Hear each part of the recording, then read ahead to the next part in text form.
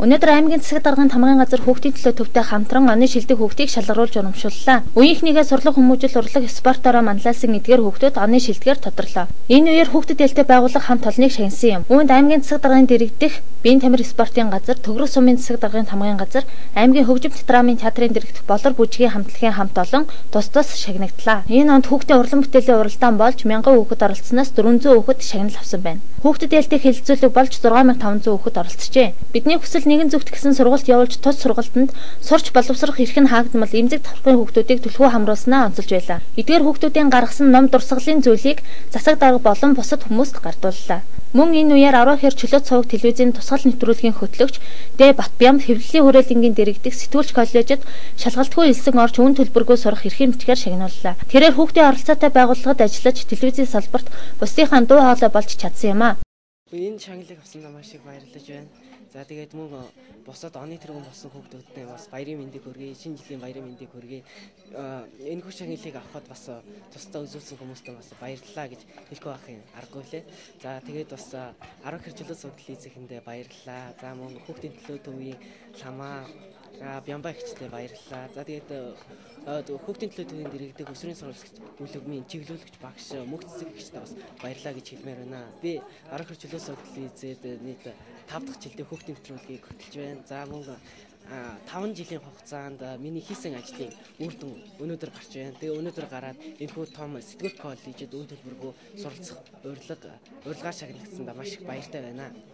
За тэгээд энэ боломжийг ашиглаад ерөнхий боловсролын 2 дугаар сургуулийн 11-6 ангийн хамт олондоо за мөн ангийн багш Биндрия багштаа хайртай шүү гэж шавь нас ийм шагнал авлаа. Тэндээ хайрсан шүү гэж хэлмээр байна. За мөн хайрт аав ээжтэй болон анд найзуудтай намайг таньдаг бүх хүмүүстээ баярлалаа гэж хэлмээр байна. Баярын мэндийг хүргье. Өвөр хангай аймгийн оны тэргүүний сурагч хашгирсан өнөхөр их баяртай байна. За тэгээ энэ тал бүрийн шилдэг хүүхдүүд үнэхээр цуглаж чадсан байна. Тэгээ энэ шилдгээр тодорсон бүх хүүхдүүдтэй цаашдын сурлах хөдөлмөрт өндрийн өндрөөс өндөр амжилтыг хүсье. За тэгээд юуны төрөнд намайг энэ шагналыг авахд хүргэсэн эрхий боловсролын 1-р сургуулийн бүх багш нартаа баярлалаа гэж хэлмээр байна. Анги хамт олондоо үеийнхээ найз нарт бүгдээр нь баярлалаа гэж хэлмээр байна. За тэгээ миний өөрөө удирдах байгууллагт 5 жил жилийн явсны маань одоо үр дүн тэгээд ерөнхий боловсролын 1-р сургуулийн догоон төвлөгийг клубийнхаа бас та нарын маань ачаар энэ хүн шагнал надад ирсэн гэж хэлмээр байна. Тэгээд мөн удирдахч ерөнхий боловсролын 1-р сургуулийн нарны цэцэрлэг багштаа болон отгон мян багштаа шилэг зэрэг багштаа ингээд сургуулийнхаа бүх хамтланд баярлалаа саналрахснаа дээр хэлмээр байна. Телевиз үзэн суугаа бүх намайг таньдаг хүмүүстээ энэ өдрийн мэндийг хүргэж байна. За тэгээд намайг юуны төрөнд өсгөж хүмүүжүүлсэн ээж аав хоёртоо бас баярлалаа гэж хэлмээр байна. Би энэ шаналыг авсандаа маш их баяртай.